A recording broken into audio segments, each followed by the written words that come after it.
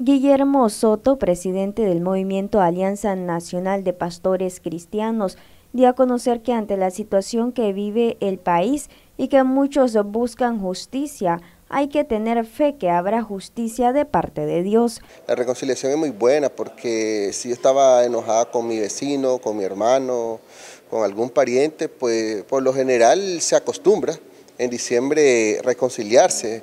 Yo recuerdo desde, desde, mucho tiempo atrás que la gente ya como para la época el 24, la gente viene, se abraza, se saluda. Entonces pienso yo que así deberíamos hacer todos los y las nicaragüenses, o sea, olvidar eh, muchas cosas, porque eso afecta no solo, eh, digamos, al país, sino que a la persona, el tener bastante resentimiento, bastante odio, eh, sabiendo que la justicia va a siempre venir de parte de nuestro Señor Jesucristo. Recordemos que hemos venido a lo largo de este tiempo, hemos venido perdiendo muchas vidas, tanto de un lado como por otro lado. Entonces, pienso yo que lo más eh, saludable en estos momentos es eh, orar, leer la Biblia, eh, pedir perdón, reconciliarse. Soto agrega que preocupa el índice de violencia en la nación. Muy preocupante, a pesar que tenemos índices más bajos para comparación con otros países centroamericanos, aún así es preocupante, aún así es preocupante.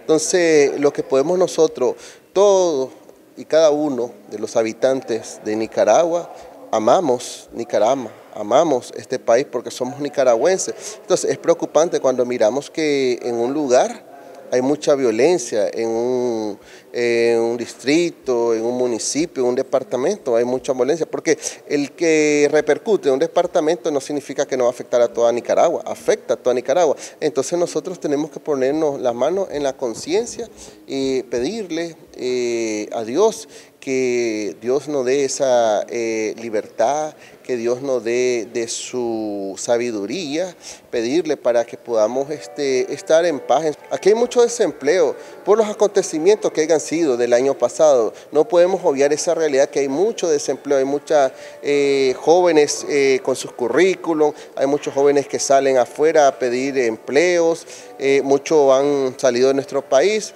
En las iglesias incluso hay muchas madres, padres, hermanos, parientes en un desempleo. Pero ¿qué es lo que nosotros nosotros hacemos?